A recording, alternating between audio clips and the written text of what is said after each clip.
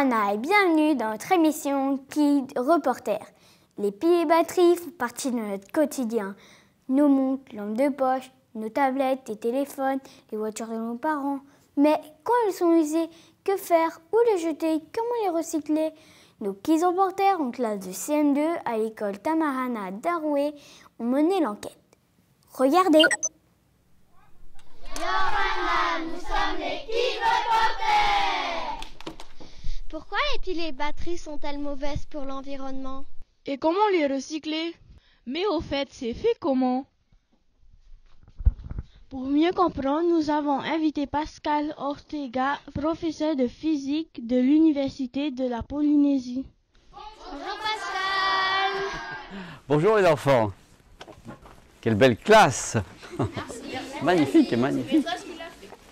Alors, on a plein de questions par rapport aux piles et aux batteries. Par exemple, euh, comprendre leur fonctionnement, comment ça marche et surtout comment ça produit de l'électricité.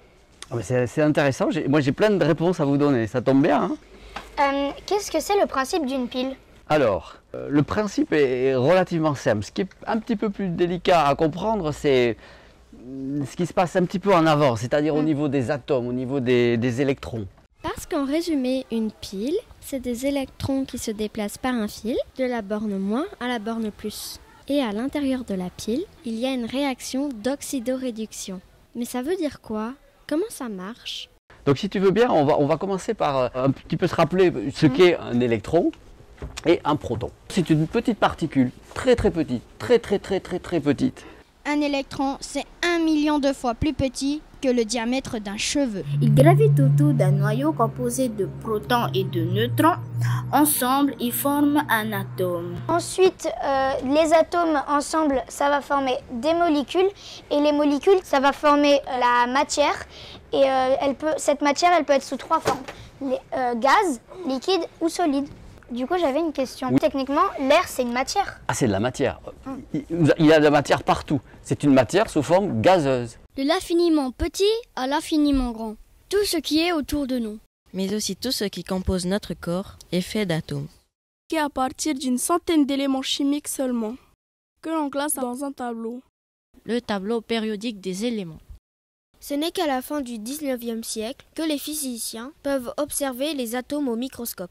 Mais on a découvert que si on rapproche certains atomes, les électrons les plus éloignés n'aiment pas du tout rester en place.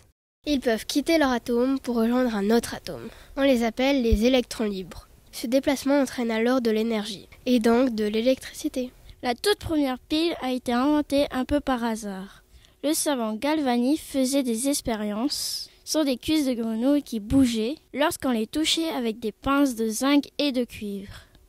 Mais Alexandro Volta, qui était à côté, s'est dit c'est pas la grenouille qui, qui fournit le courant, c'est le zinc et le cuivre. Donc il a fait exactement cette expérience.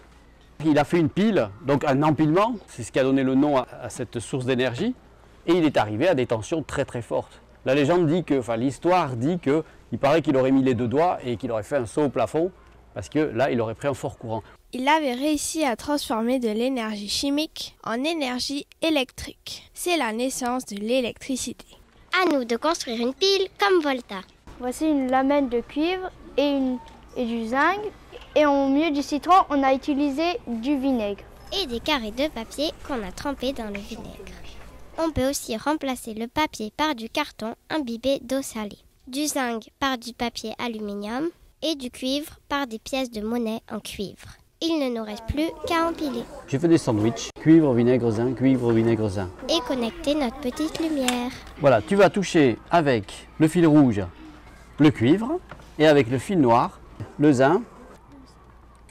Voilà, vous voyez comme il brille C'est de l'excellent vinaigre.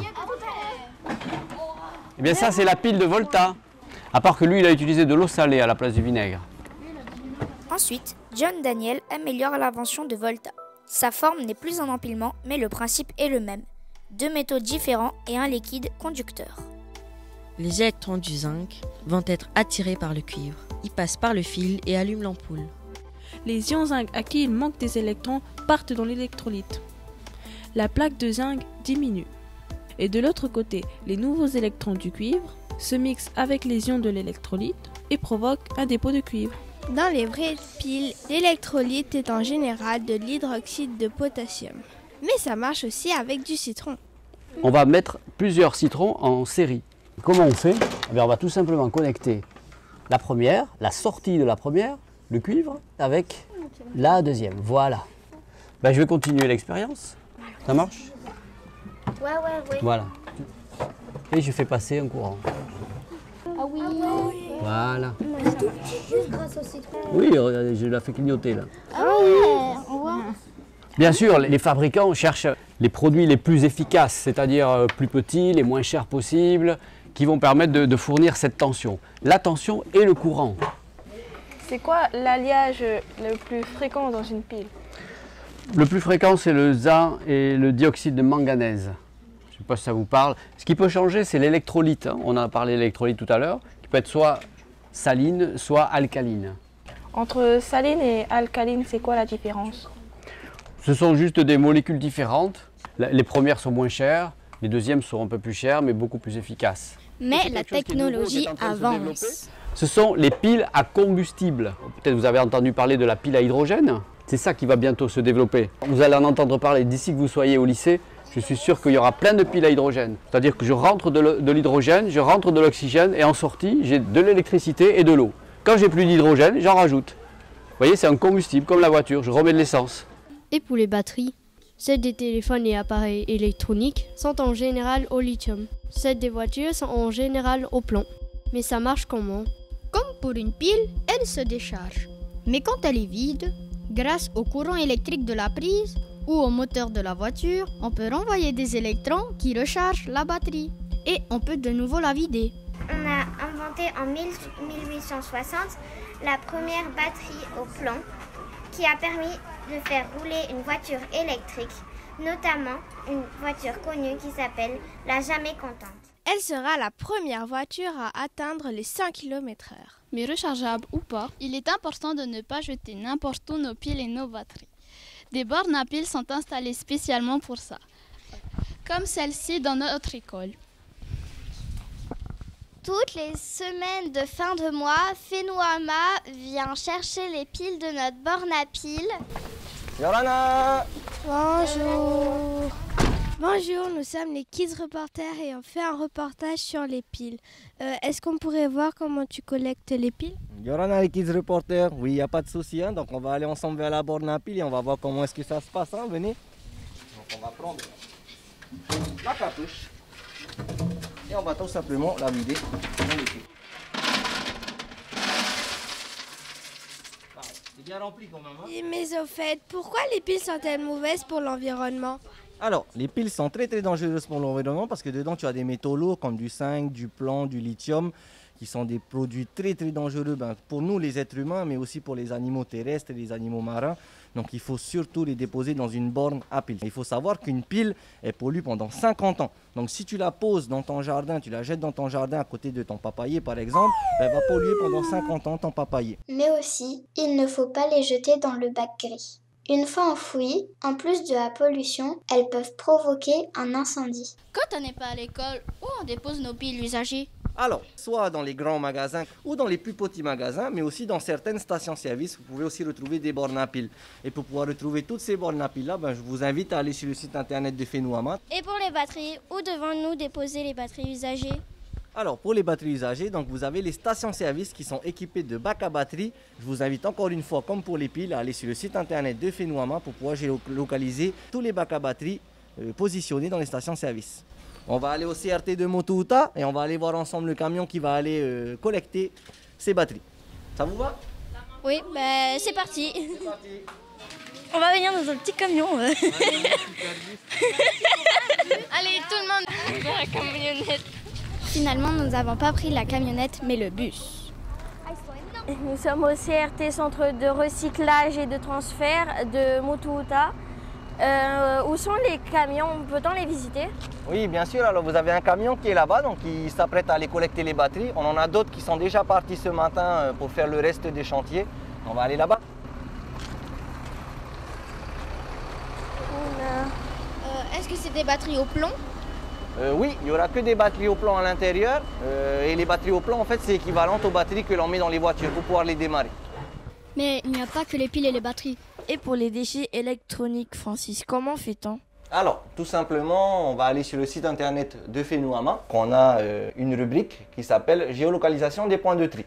Et grâce à cet outil de géolocalisation, donc, je vais pouvoir repérer les points euh, les plus proches de chez moi pour pouvoir déposer toutes sortes de déchets. Donc là, on parlait des déchets électroniques. Si j'habite Marina, par exemple, je clique sur Marina et ça va me zoomer directement sur Marina. Après, sur l'outil de géolocalisation, vous n'avez pas que les déchets électroniques. Hein. Il y a les piles et les batteries, euh, mais aussi les médicaments usagés, les ampoules et néons, les huiles de moteur, les fusées de détresse, le verre. En résumé, tout est sur le site de Fenouama. Direction la station où notre camion a déjà commencé sa collecte de batteries. Venez, venez. Alors donc là on est à la station, euh, donc c'est les points de récupération des batteries, donc vous voyez le bac batterie qui est là. Donc on va le soulever pour voir ce qu'il y a là-dedans. Donc vous voyez, il y a pas mal de batteries, on en a beaucoup quand même, le bac est rempli. Et ce bac-là, c'est rempli en une semaine Exactement, donc le bac s'est rempli en une semaine, on est venu mardi dernier pour faire la collecte et vous voyez que là il est déjà rempli. Alors euh, là, ils vont changer euh, le bac plein et vont le remplacer par un nouveau. Une manœuvre répétée toutes les semaines par les équipes de Fenouama. Une fois collectées, Fenouama dépose les piles et les batteries chez Technival qui s'occupe de la suite du travail. Et nous, rendons-nous directement à Chiperui. Nous sommes chez Technival, c'est ici que les piles sont triées. Bonjour Jade, nous sommes ici pour faire un kit reporter. Bonjour On est ravis de vous accueillir chez nous pour vous expliquer qu'est-ce qu'on fait avec les piles et batteries ici. Là, vous pouvez vous positionner ici. Alors qu'on récupère les batteries qui sont collectées par Fenouama. Ce sont principalement eux qui nous emmènent ce type de déchets. Les batteries sont d'abord rangées sur la palette, puis filmées pour ne plus bouger. Et après, on finit effectivement par mettre une dernière couche comme ça protecteur et, euh, et, un sanglage. Là, ils sont en train de les cercler pour, euh, pour qu'après, ben, ils ne les touchent plus jusqu'au transport. Et en attendant, elles sont stockées ici. Quant aux piles, comment vous faites pour trier ben, ben, Tout dépend des piles. Hein. Il y a des piles alcalines, hein, comme ceux-là. Sinon, il y a des piles lithium Sinon, il y a des piles nickel-cadmium. Comme vous le voyez là, là, on est en train de trier. Tu vois Chaque casier, ils ont le, le pile, le fût. Enfin, vous triez à peu près combien de piles euh, là-dedans? Fait, on ne peut pas compter. Il y a des milliers de piles qui arrivent sur le site. Quoi. Un fût de 200 litres plein pèsera 300 à 400 kilos. Vous les triez? Et après, vous les emmenez où? Une fois rempli le fût, on met sur palette, on filme, on sègue. Et ensuite, c'est un autre service qui prend le relais. Bonjour, nous sommes les Où les piles sont-elles exportées? Alors aujourd'hui, on exporte les piles euh, vers deux destinations, soit c'est la France, soit c'est vers la Corée. Et comment choisissez-vous ces pays? Alors la première étape, ça va être de trouver une installation agréée c'est-à-dire une installation qui a les autorisations officielles et réglementaires pour traiter les déchets. C'est qu'il faut savoir qu'il faut qu'on demande une autorisation d'exporter. Euh, donc il y a toute une procédure administrative à mettre en place et à suivre. Il faut obtenir ce permis qui est délivré au final par les autorités environnementales euh, du pays exportateur et les autorités environnementales du pays importateur. Tu travailles euh, avec quoi comme logiciel? Pour euh, préparer mes exports, j'utilise essentiellement des tableurs Excel avec des saisies automatiques. De façon stable depuis 2012, on exporte aujourd'hui un conteneur de piles par an. Ça représente à peu près 25 tonnes de piles usagées. Que se passe-t-il ensuite? Les pays importateurs les transforment comment? Alors il y a plusieurs techniques hein, qui existent, mais la plus connue ben, commence d'abord par, par, une étape de broyage pour euh, essayer de séparer les différentes matières. Donc il y a de la matière plastique, papier, après il y a une matière métallique et la matière avec des métaux lourds, donc euh, nobles, on va, on va revaloriser. Ben, on appelle ça de la poudre noire, de la black mass. Et donc euh, cette black mass ensuite hein, va être travaillée sous deux techniques hein, qui s'appellent soit de l'hydrométallurgie ou sinon de la pyrométallurgie. Donc soit on fait monter en température et après donc avec les gaz et les rejets donc on peut récupérer des métaux qui sont intéressants ou soit par hydrométallurgie on va, on va plonger cette matière noire euh, dans des bains chimiques et avec des réactions chimiques on va pouvoir extraire ce qui nous intéresse. Et donc à partir de ces matières-là on peut les réutiliser comme matière première dans de nouveaux cycles de produits au fait pour des nouveaux produits. Ça peut être des clés, ça peut être euh, des des pièces ménagères, des, euh, voilà. Euh, et, notamment, on peut les réutiliser pour pouvoir refaire des batteries derrière. En résumé, ne jetez pas vos piles et batteries n'importe où. Protégeons notre planète Merci de nous avoir suivis. Avant de nous quitter, voici la question du jour. Où faut-il déposer les appareils à batterie qui ne fonctionnent plus? Une voiture télécommandée, par exemple. Réponse 1 dans le bac gris. Réponse 2 dans le bac vert. Réponse 3 dans les bornes à piles. Réponse 4 dans des dépôts spécifiques indiqués sur le site internet Fenouama. Si vous n'avez pas la réponse, revisionnez le reportage en replay sur le site internet et continuez de suivre les Kids Reporters sur YouTube Facebook et Instagram. À la semaine prochaine